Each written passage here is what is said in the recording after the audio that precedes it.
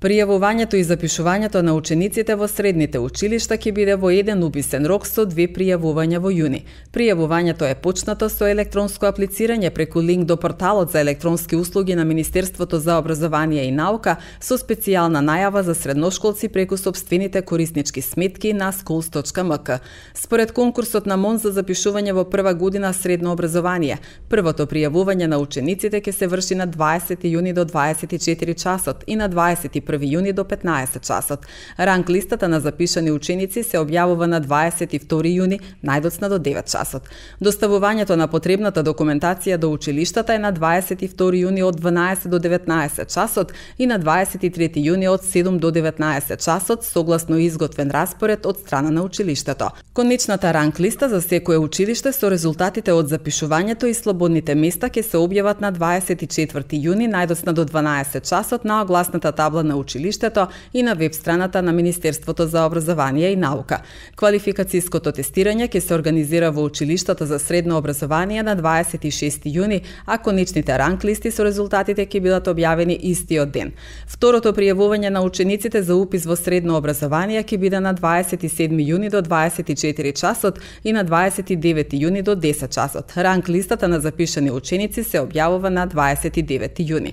Доставувањето на потребната документација администрација до училиштата е на 29 јуни од 15 до 19 часот и на 30 јуни од 7 до 19 часот. Конечната ранг листа за секое училиште со резултатите од запишувањето и слободните места ќе се објават на 1 јули најдоцна до 12 часот. За упис во прва година во средните училишта во општините Куманово и Липково има слободни места за вкупно 2298 ученици. Од нив 2128 се за четирите кумановски училишта, а 170 места во Липковската гимназија. Според конкурсот на МОН, најмногу ученици, вкупно 637 ученици во 19 паралелки, ќе се запишат во техничкото училиште на Цебуѓони. Останатите стручни училишта во Куманово, Перо Наков и Киро Бурнас ќе ги отворат вратите за 529, односно 384 ученици. За економските науки настава ќе се организира за 286 ученици во 10 паралелки на македонски јазик и 243 ученици во 9 паралелки на албански јазик.